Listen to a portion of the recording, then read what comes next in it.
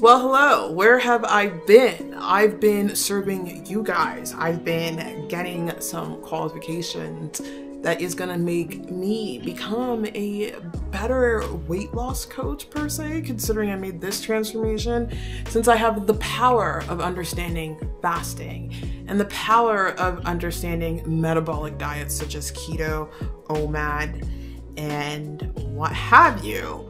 I think combining this with the skill of becoming a personal trainer is gonna be epic. And I'm not just becoming a personal trainer. I'm not, I didn't just do some course online, did it once, and then I'm certified. No, the organization that I'm becoming certified with requires me to certify yearly. And on top of that, I need to be taking courses throughout the year to better myself because we are learning more and more about fitness. We're learning more about more about weight loss, and it requires constant knowledge. So I'm super excited about that. So I am now transitioning my entire career to helping people transform their lives, whether that be through weight loss, which is what I want my specialty to be, through improving their quality of life, which is also something that's near and dear to my heart. So, when I say improve the quality of their life, meaning that reducing pain, maybe they're having knee pain, back pain, lack of energy levels, or what have you, they're injured, injury recovery, because I know about that, you know, that's how I'm here. I got injured from a car accident. I've rehabbed multiple limbs that took me nearly two years to do, and I made a weight loss transformation in the midst of that. So I know injuries can be hard on people, and it's why a lot of people end up gaining weight. Maybe they got injured at work, or God forbid, they got into a car accident, or something happened to them. And another way I want to help people is perform better as athletes. Of course, that's going to be key for me because I do plan on becoming an athlete. Once I do bodybuilding, I'm looking at some other stuff. I kind of got interested in CrossFit because I know the power of healing your joints and I know the power of exercising correctly, finally.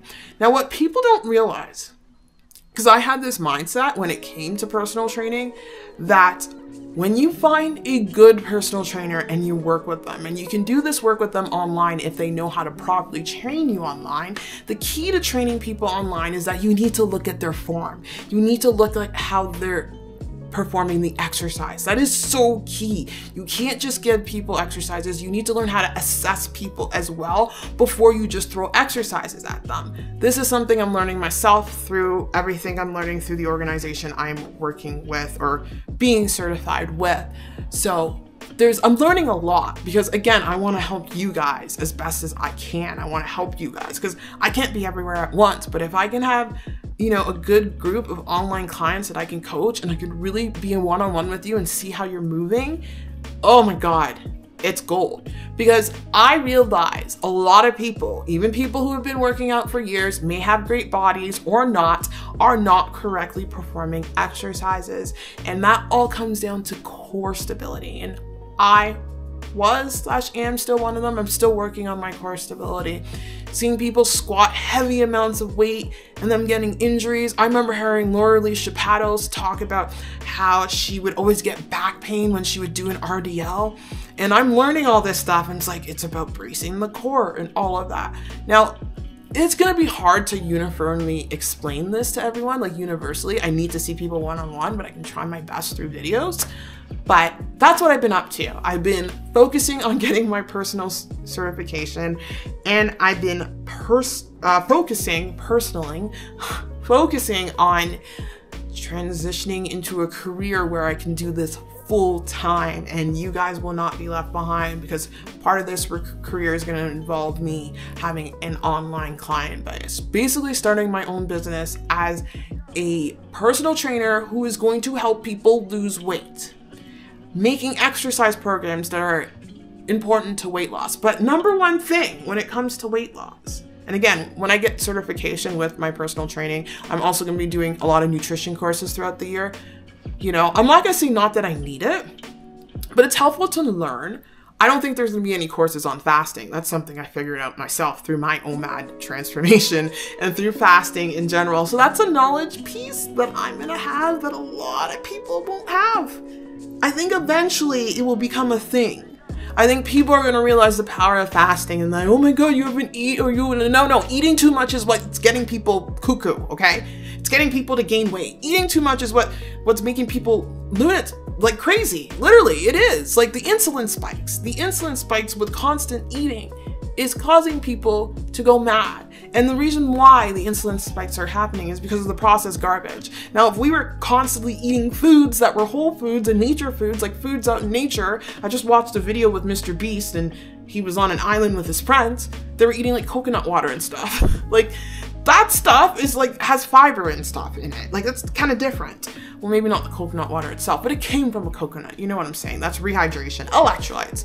But like the foods that we're eating is making people go mad. So um, I got that knowledge. And eventually the rest of the world will catch up and I'm sure there will be courses and all of that. So that's where I've been. I've been focusing on that and I've been working out through the whole thing. Trust me, I am working with a personal trainer and I will continue working with a personal trainer. What people don't understand, just because you're a personal trainer doesn't mean you won't need one. There's a reason why NFL athletes, the best athletes in the world, have coaches, have a strength and conditioning coach, have a coach for agility, or what have you. There is a reason why bodybuilders have coaches. Julia Renee is a perfect example. She, um, I love her by the way, she hired a personal trainer on top of her bodybuilding coach to have the personal trainer push her at the gym because it's better to have a trainer watch you with your movements because what people understand, when you perform a movement properly, you get way more out of the exercise. You recruit way more muscle fibers. And when you recruit way more muscle fibers, you're gonna build that muscle and that strength. A personal trainer has been pivotal on my journey with healing my body. And I was talking to someone about this because they had injuries as well. And he told me this, and I believe this, it's true. If you're injured, a physio will only get you 70% of the way but they won't forever eliminate your pain. I've been talking to someone else about this. They've been seeing a physio for years and they've just been depending on a physio and they're not healed. A good physio will want to make you be independent. And I think a good physio is a physio that ones that works with a personal trainer in tandem because it's the exercises structured in a way that a personal trainer can do with the physio work. I'm not bashing physios. Physios are very important. They've been pivotal in my journey and help bring down the inflammation. But physios can give you exercises. Great. You do the physio exercises and then you get to a point where you're 70%. That's where the personal trainer comes in. I wish I had a personal trainer earlier on in my journey because I probably would have been healed a lot faster with all the pain I've been dealing with. So there's power in having a personal trainer. And I will always have one because I'm gonna be a bodybuilder. And then I'm gonna transition probably, again, I'm an athlete at heart. I'm looking at CrossFit. I'm also looking at uh, running a marathon, triathlon, all that stuff. I'm always gonna have a coach because they're gonna be able to see me. They're able gonna see my imbalances, help me prevent injury. They're gonna see how I'm moving one day versus another. So I think it's valuable to invest in one, um, especially one that knows what they're doing. And I don't believe personal trainers want to keep people fat. I saw a video on that. That's not true. You need a personal trainer that has a specialty in understanding obesity.